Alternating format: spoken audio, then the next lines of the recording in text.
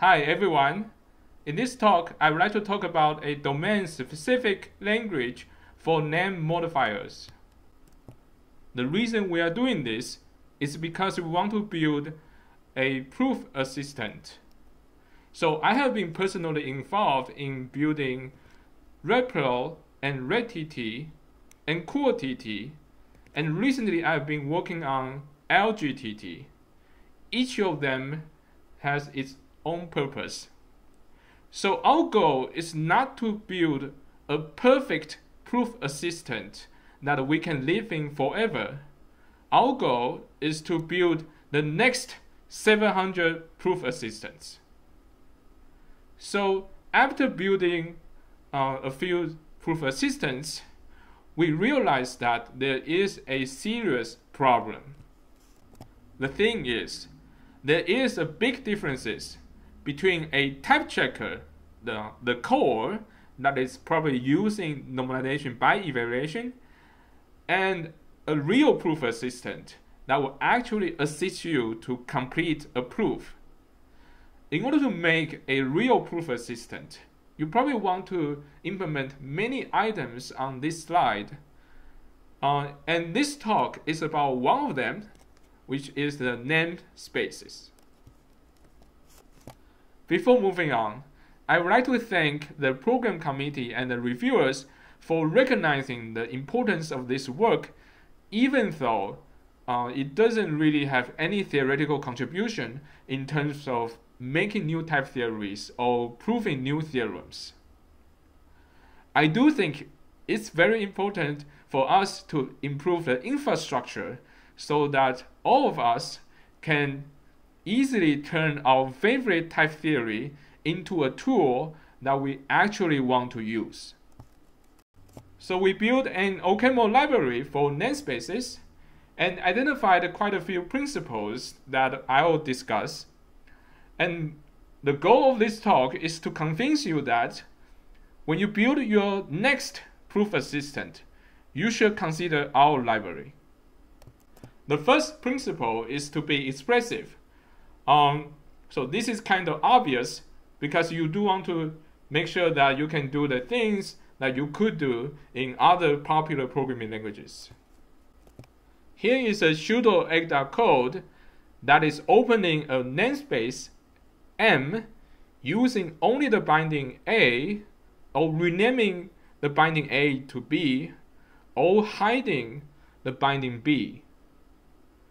Um, so already from the syntax, um, in order for our language to be expressive, we should also be able to select some bindings from the namespace uh, to rename bindings or to hide some of the bindings.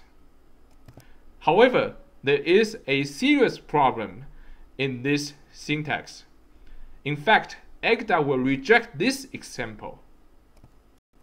The problem is that the order of execution matters. For example, if you rename A to B before hiding B, then in the end, the renamed A will still be hidden. However, if you hide B before renaming A to B, then the renamed A will survive, and in the end, you will have the renamed A as B. So since the result depends on the order of execution, Agda simply reject this example. That's one way to do it. But I think it's better to allow the user to specify the order. So once again, the fundamental issue here is that modifiers are effectful. And here comes our second principle, which is to have explicit sequencing to allow the user to specify the order. And so that's our second principle. And now I'm going to start motivating our third principle, which is to have implicit namespaces.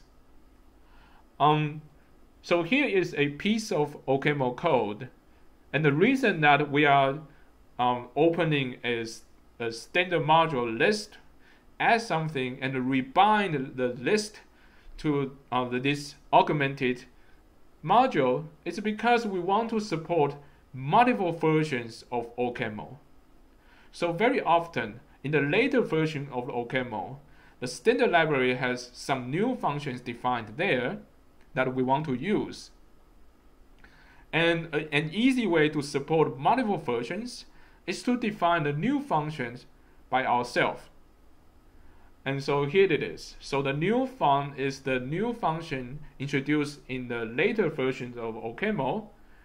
And so the one way to make our program compatible with multiple versions is to just introduce this piece of code um, in our own code base. So this kind of works, but it has lots of caveats in practice. So I have been thinking that can we just write let list dot new function equals something as a way to inject new function into the namespace directly. So this will not work in OCaml, actually for good reasons. But we can change how our proof assistants work so that we can inject things directly in a namespace. The reason that OCaml and standard ML do not allow you to arbitrarily override something in a namespace is because they are using modules to implement namespaces. And the module in those languages has a typed interface, which is called signatures. So signatures are very useful because it allows you to quantify over an unknown module. So that's why you can write a functor which taking an unknown module of some signature. So that's very good, uh, but it also creates new burdens. Um, because now you have to make sure that for all the operations you want to define on modules, the resulting modules still need to have a valid signature. Uh, for example, uh, on the left hand side, this is a signature. So it has a type T and the value X of type T. Um, so consider a, a module implementing this signature. You cannot just remove the type T because otherwise the value X will not have an expressible type. So it's good thing to have an interface, but then it becomes a burden to make sure that there's always an interface. And also in the context of the proof assistants, sometimes you cannot even uh, have a type. Um, for example, if you have a predicative universe hierarchy, and you also support universe polymorphism, then a definition that is polymorphic in the universe levels will not have an internalized type. So you cannot even write down a type for that module. So there are people trying to identify the operations you can still define on modules while maintaining signatures. For example, the ICFP paper here on the slide. But I think there is an easier solution to this problem, which is to have a separate notion of namespaces that is different from modules, and a namespace does not have to have an interface. So here is our slogan.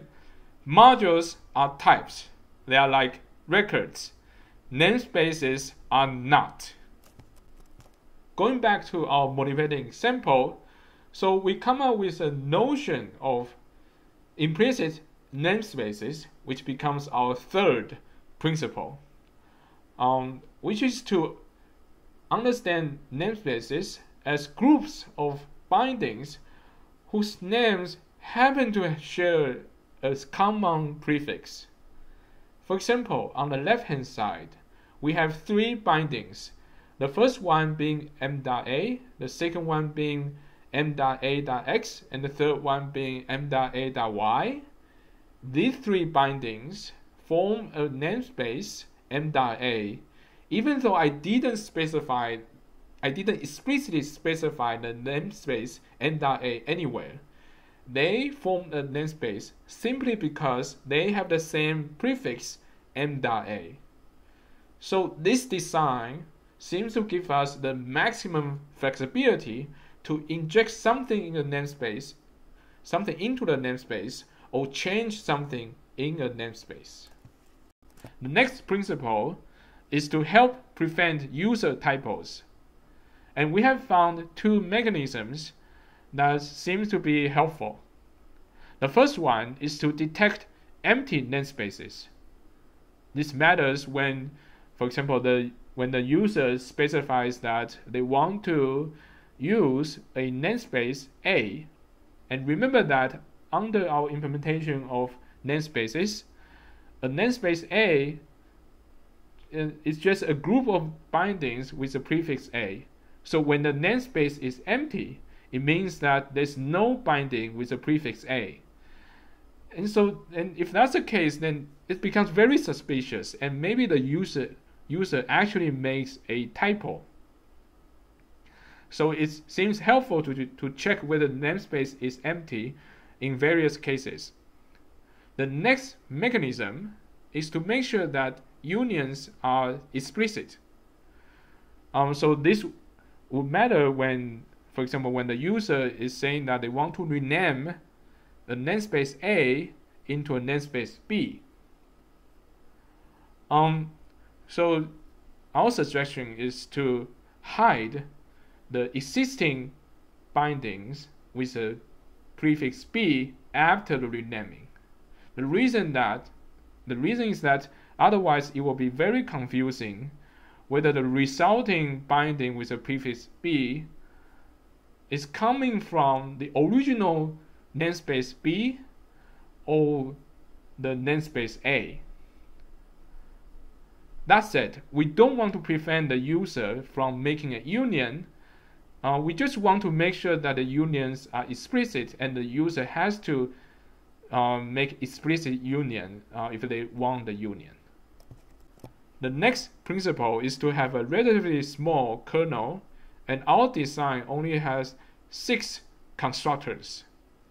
And the first one is to check whether something is empty uh, for the typo detection we just discussed. And if you don't care about that, uh, you only need five.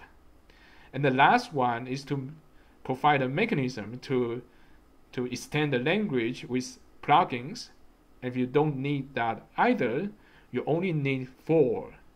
So all the features we have discussed can be implemented using these four basic constructors, uh, which is the scoping, uh, which is to apply some uh, some modifiers to a sub namespace, the renaming, the sequencing operation that we have discussed, and the union. Everything can be implemented using only these four. The final principle is to use algebraic effects.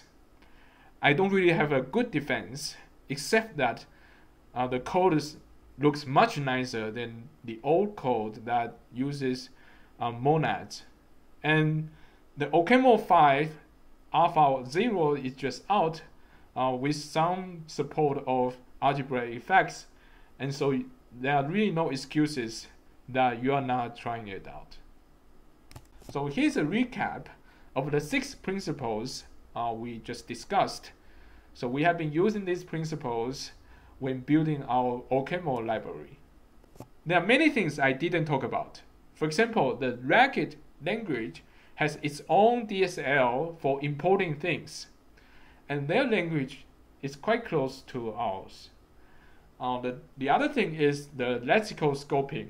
Uh, so I didn't talk about how to have nested uh, lexical scoping and also how to specify whether something is public or something is private.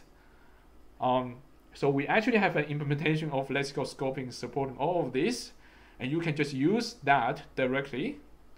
And yet another thing is a detection of unused imports and unused definitions. It's actually quite tricky to uh, to detect these efficiently. So in order to do that, uh, we actually devise a, a quite fancy data structure for namespaces so that we can detect unused imports or definitions uh, quickly. So please use our library to write yourself a proof assistant and tell us how you think about it. Thank you.